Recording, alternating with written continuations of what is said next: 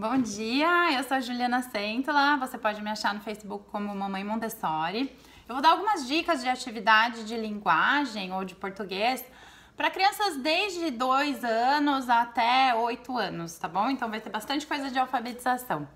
Para começar, para a criança começar a prestar no som inicial das palavras, você pode fazer uma caixinha assim com objetos interessantes, pode ter um tema ou não. E você pode brincar de, ah, vamos achar uma palavra que começa com E. Estrela do mar. Com C, com a letra C que faz o som de k, k, k, ou com que comece com a sílaba K, cavalo marinho, peixe e assim por diante. Depois disso, você também pode é, imprimir um papel com várias imagens, o mais real possível, sem nada caricaturista, e usar umas letrinhas de borracha. É, você pode imprimir, você pode recortar de papel colorido, porco, a criança vai colocando as letrinhas em cima. Hum, tem algum, alguma foto aqui que começa com hum, maçã e com E, escorregador. As crianças adoram brincar com isso. Você pode fazer do som inicial e você também pode fazer do último, do som final. É, alguma, tem alguma imagem aqui que termina com U, chapéu. Então você vai fazer a criança pensar mais nos sons que ela está pronunciando quando ela fala a palavra. Ah, depois disso, eu vou mostrar algumas atividades de pareamento de letra com objeto letra com objeto, você pode deixar num potinho, numa caixinha. Lembra que a apresentação ela é importante, ela é um convite para a criança vir fazer a atividade. E a criança vai parear a letra que começa com a, o objeto. Lembrando que se você não tem os objetos bonitinhos, você pode imprimir fotos. É, recortar de revista, não tem desculpa. Ou ainda essa atividade aqui eu fiz, eu fiz com biscuit, falta só eu pintar, mas uh, não tem desculpa mesmo, hein, gente, ó. I de iglu, você pode fazer uma só de vogais. P, pera. O A ficou lá na caixinha, avião. Ah, e lembrando sempre de colocar de forma ordenada, de cima para baixo e sempre da esquerda para direita. Por quê? Porque é assim que o nosso sistema de leitura funciona. A gente lê de cima para baixo, da esquerda para direita e tudo em Montessori funciona desse jeito. Gente, outra atividade super fácil que você pode fazer é fazer plaquinhas com nomes de lugares da sua cozinha, do banheiro, do quarto, ou utensílios e coisas que você usa em casa. E a criança vai colocar a gaveta, fogão, geladeira, eles adoram fazer isso. Você pode até deixar para alguns dias, por alguns dias para reforçar, ou você pode remover e guardar a atividade e deixar ela disponível de acordo com o interesse da criança e com o seu, os seus horários. E outra atividade muito simples, que é muito usada em Montessori, são os cartões de três partes, chama Three Part Cards. É, Júlia, nossa! Primeiro, a criança vai fazer o pareamento da, do objeto com a foto. Lembra? Primeiro, objeto com objeto, objeto com foto, depois foto com foto. Eu vou, eu vou virar a câmera para poder mostrar direitinho. A ela é muito utilizada na área de ciências. Tá escrito em inglês, mas vocês façam aí em português.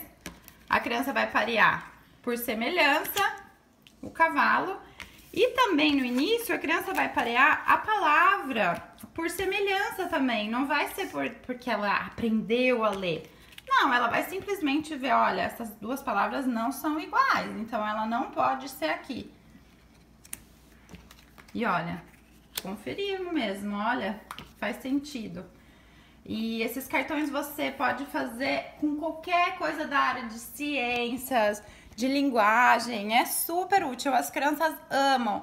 Na minha classe a gente costumava trocar todo mês da, da área de ciências e de linguagem, de acordo com o tema. E é, é muito útil porque você está ensinando eles a reconhecer as letras, aprender o nome de um animal, de um ser vivo, de alguma coisa que eles ainda não, não sabem, ou reforçar o conhecimento que eles já tinham previamente. E a última atividade que eu bolei é para criança que já está alfabetizada.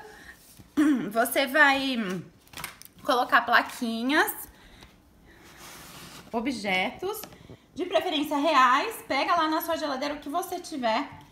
Coloca as palavras escritas aqui. Eu usei um separador de utensílios.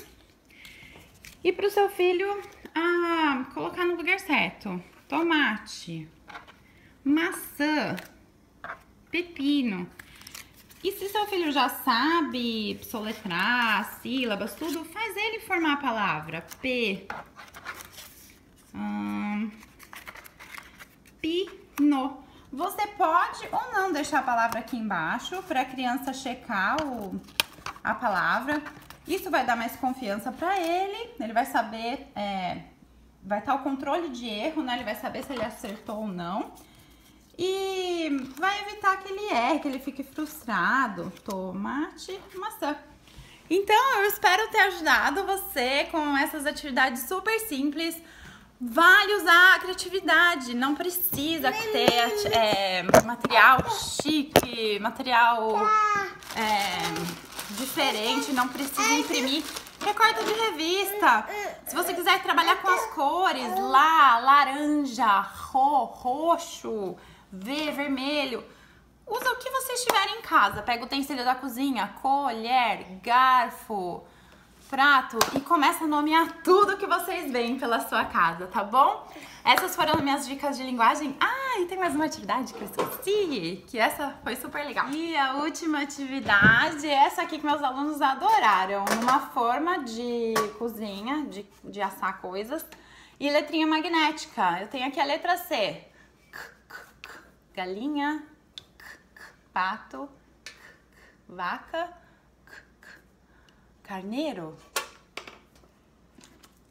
g, g, galinha. E deixa eles parcerarem, eles adoram, eles adoram. Lembra de sempre pré-selecionar as letras, você não vai deixar o alfabeto inteiro para a criança buscar, porque realmente é muito difícil. E ao longo dos anos, ao longo do conhecimento, e da ampliação da alfabetização do seu filho, deixa ele montar a palavra inteira, por que não? Galinha, pato. Lembrando se você não tem letrinha magnética, faz, gente, faz de papel, recorta, usem a criatividade. Espero que vocês estejam gostando dos meus vídeos. Tá sendo um prazer, eu tô adorando muito, só ficando motivada para fazer eles. E muita gente já pedido vídeo para criança mais velha, então espero poder ajudar, tá bom? Faz tchau, Júlia. Tchau. Tchau.